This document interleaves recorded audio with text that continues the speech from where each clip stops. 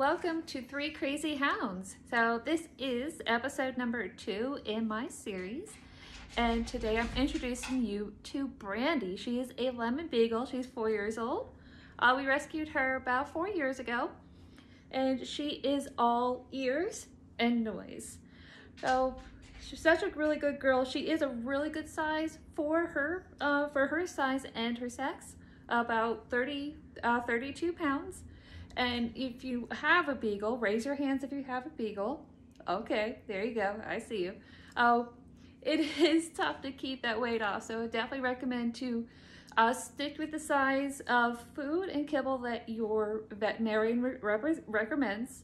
Oh, and uh, constant exercise, frequent exercises, and play. And of course, I know she shows a little bit of a Michelin belly here, but she is doing very well. She is healthy for her age Oh, and a couple of her characteristics, she is one big snuggle bug.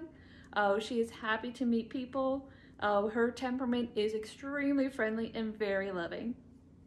So if you are thinking about getting a beagle, oh, as a first-time dog owner, definitely do your research.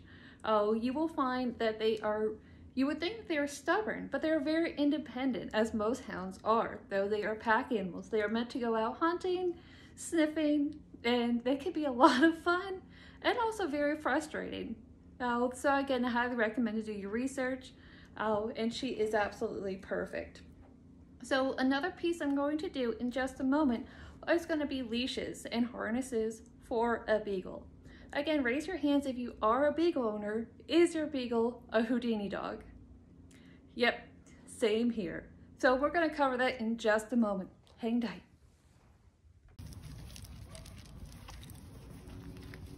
Mando. Okay, we're going to discuss leashes. They are for you and your dog's safety and for those all around you. To have fun and a healthy human and hound relationship, it is important to find your best fit. I'm going to show you our two favorites. A bungee style leash to walk one dog at a time and the split or Y style leash walk two at a time.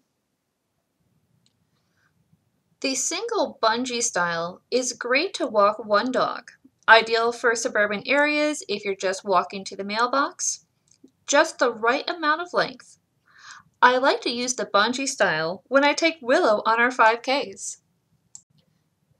Next, the split leads.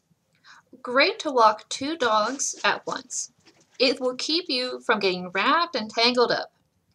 It will take some getting used to. I like to use this when I'm training my new dog to walk with another dog. And a great tip, keep that Y pointing at you. Hey, we're back. All right, we are going to be covering harnesses for your hound. Oh, and I have a couple of oldies and but goodies. I have a eh, not so much, and a new wow. So I'm gonna go over my oldie but goodie, and this brand is Kong. And I know you all like the chews and the squeaky balls and the Kong, they stand up to the test of time.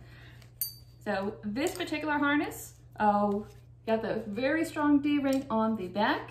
Oh, it goes through the neck and that is adjustable and this goes around the waist, which is adjustable. I'm sorry, not the waist, but the chest right up here.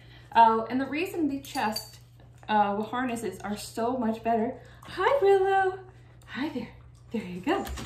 Why these work out so much better than a regular traditional collar. Oh, your dog is walking, your dog is walking. They see a squirrel. They see a cat. They see something that they really want to get to, and then they pull. This is going to pull on their chest and they pull back and they are redirected. On the neck, is going to keep on going and it's no fun for you or for the dog. Not a good situation. So the Kong, again, durable, machine washable, and my all-time uh, go-to. My eh, middle of the road one, this is Kurgo. Uh, I bought this one at Petco. And so it has two different hooks. So you can do the top hook and you can do a front hook. So the only reason I would not recommend this one for beagles, because they are Houdinis. And yes, if you have your Houdini dog, show of hands, mine was able to get out of this one many times to get after a kitty cat. So again, they're kind of cute, um, but not worth, um, not worth the hassle. Oh, my next one, my third one, uh, which I, my, my new wow, this is called Reddy by Petco as well. So nice and strong.